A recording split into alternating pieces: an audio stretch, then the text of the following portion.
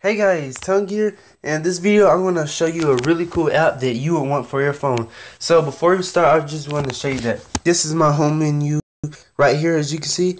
Um, That's cool. If I'm going to look at my apps, all of my apps, I go right here. So that's really cool. Um, Let me go back. Whoops, sorry about that. Um, want to launch app, I'm going to press this right here. Gosh, see, it's this charging thing. I want to press, see, this charging thing distracted me. I want to go to the app, I'm going to press this right here.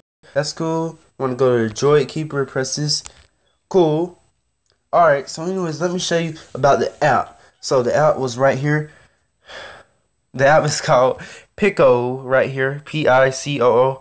I don't have the triple zoom tap on right now.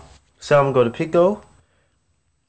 Alright, so it's on the Google Play Store. So once you download it, uh, open it, it will show this right here. No, it will show a startup.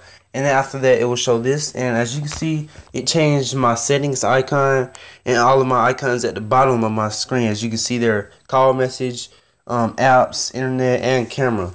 They're still the same app, but it just polished those icons. Made them look So, here, automatically put my apps in the group. So right here it says social as you can see right there. Show shows all of this. So that's really cool. Tools right here. So that's really cool. It just automatically puts them in um in a group. Also it launches apps quicker than my own your than your own um home screen than a lot of them at least. It definitely does to mine. So anyways let me go to social and let me go to gmail. Look you saw that as soon as I pressed it, it launched the app. Isn't that really cool?